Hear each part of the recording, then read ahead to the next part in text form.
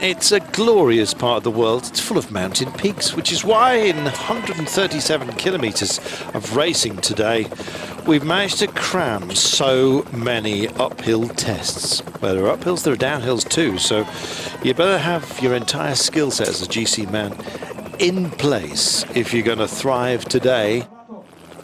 But it is the shortest climb of today's stage uh, by a long way. Here's an attack from Nairo Quintana. Oh, he's gone. He had to do this.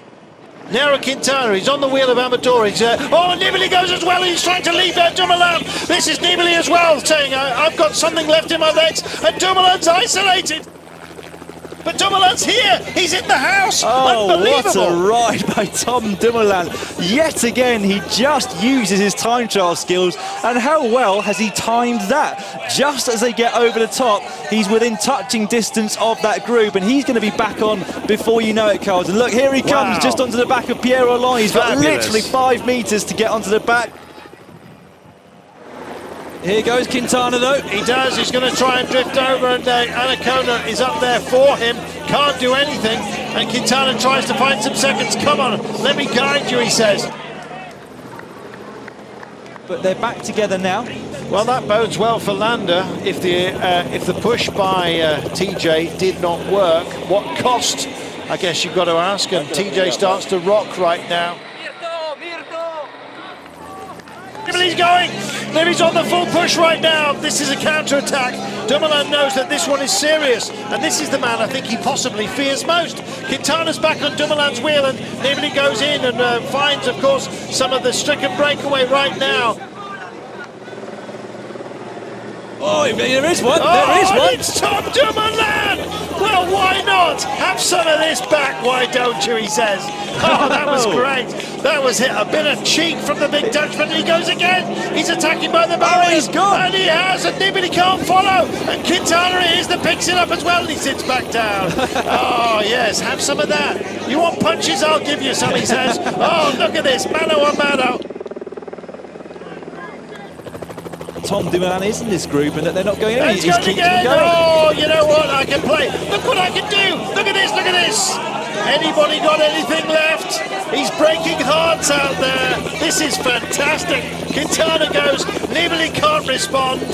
Pozzovivo, the other good climbing men here, also likewise. And it's Quintana that tries to bridge over to salvage something, but it's basically pride. And there goes Pinot dragging uh, Pozzovivo along with him.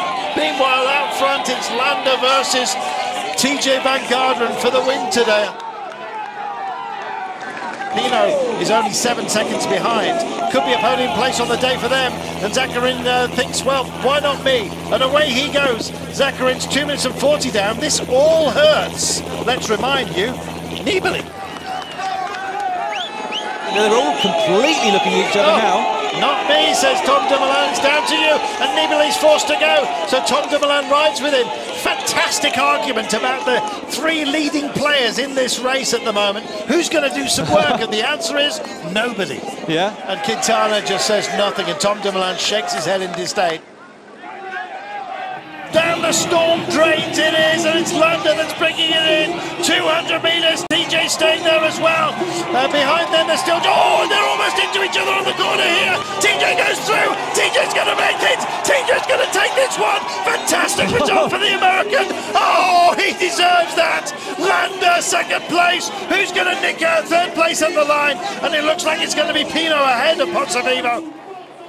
Well, hats off Tejay Van Garderen, hats off to Tom Dumoulin. He's defended himself incredibly well today. He crosses the line in the region of 56 or 57 seconds behind Thibaut Pinot. So Pinot's going to be right up there now in the general classification, hovering just behind Vincenzo Nibali. But equally as emotional as yesterday's stage win for Pierre Rolland, how much will that stage win mean for Tejay Van Garderen today?